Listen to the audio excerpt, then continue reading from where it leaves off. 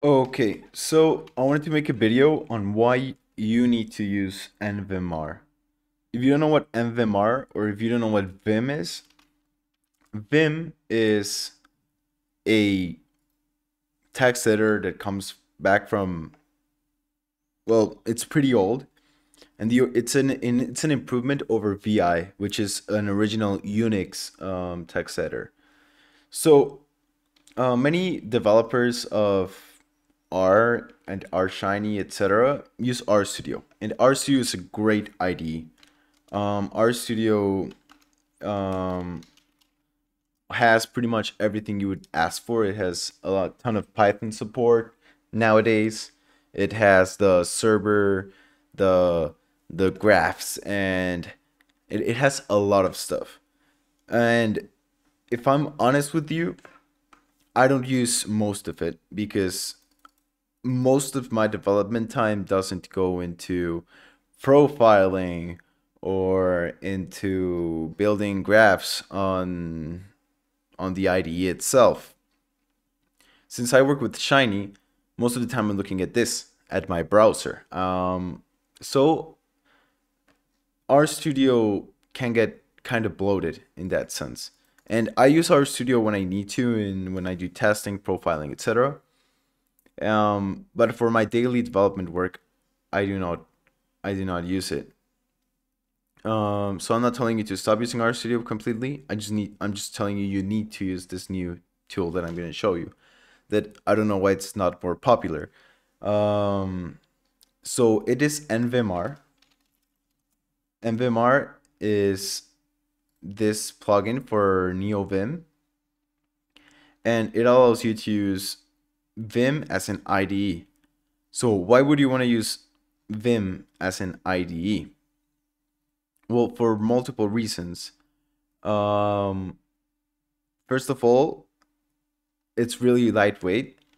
RStudio on bigger projects, bigger shiny projects can take a while to start up. Um, on NVim, it's going to be a couple milliseconds to start up. It's going to be really, really quick.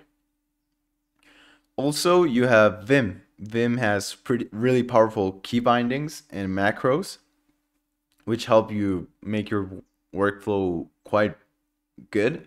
If you take the time to learn them, you're going to be really, really fast typing around and moving around your documents. And also, it, it works on the terminal. So I am almost always on my terminal. Um, as you can see, um, since I use Linux, I'm almost always working on my terminal, ls, clear, um, cd, projects, example app, etc.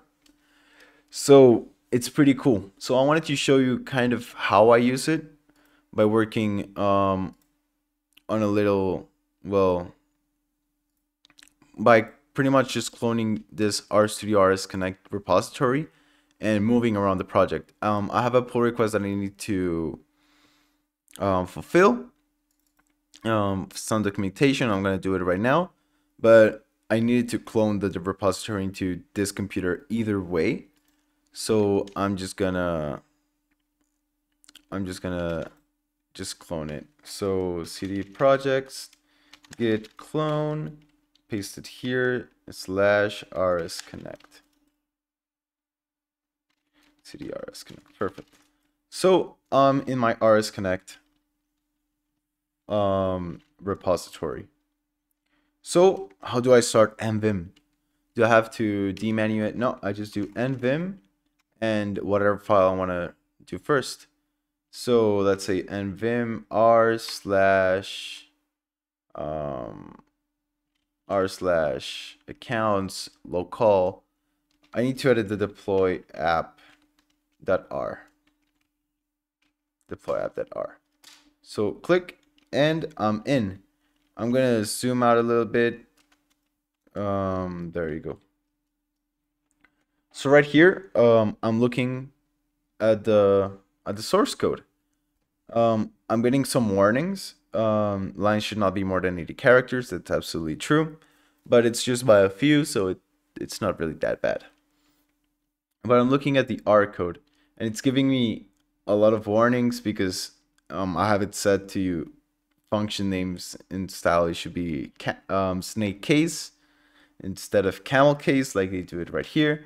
Um, but yeah, this is kind of how I, I work with my code.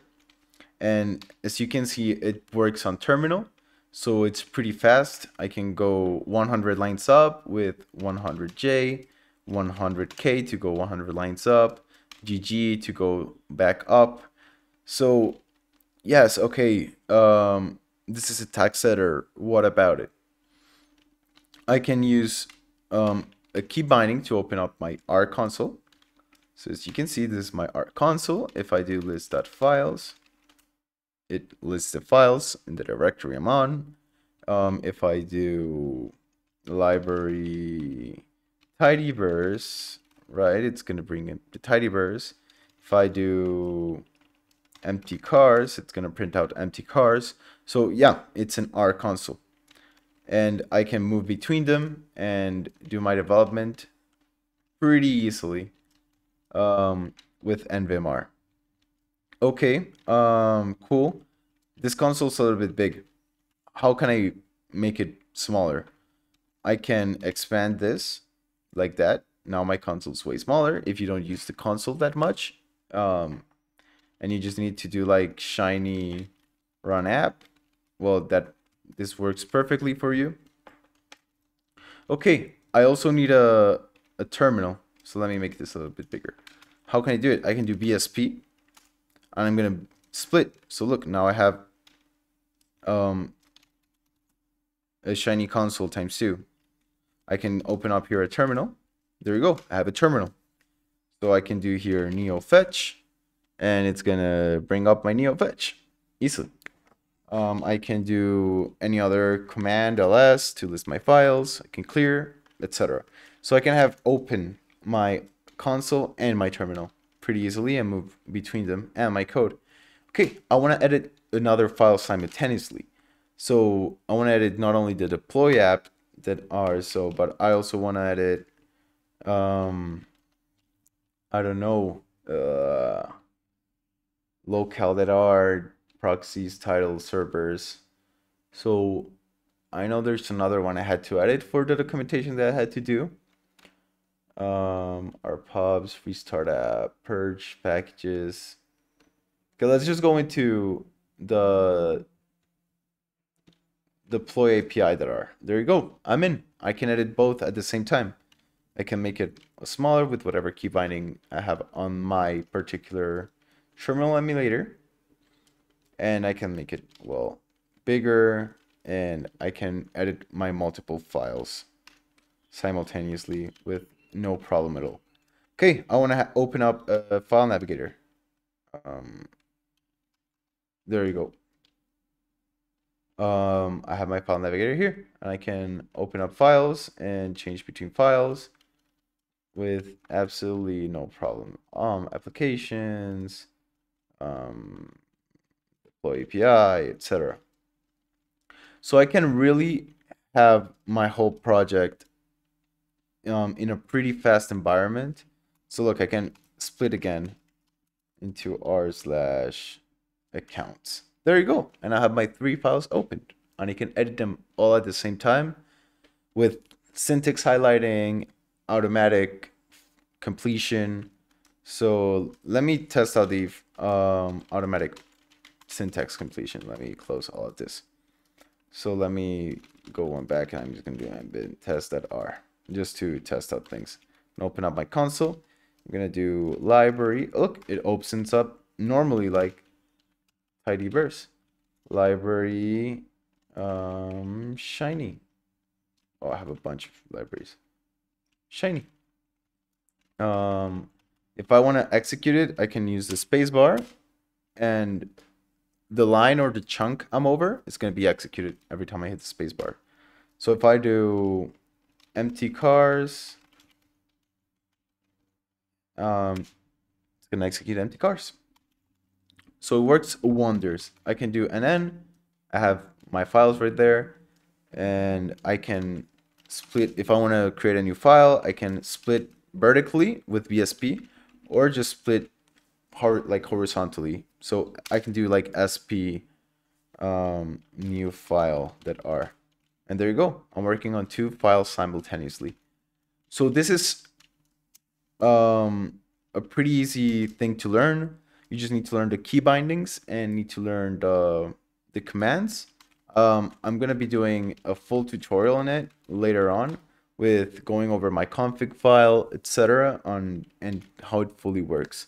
But I just wanted to make a quick video telling you that it exists and that it's pretty cool. So thank you for watching and hopefully a lot of you will go and investigate a little bit. Thank you so much for watching.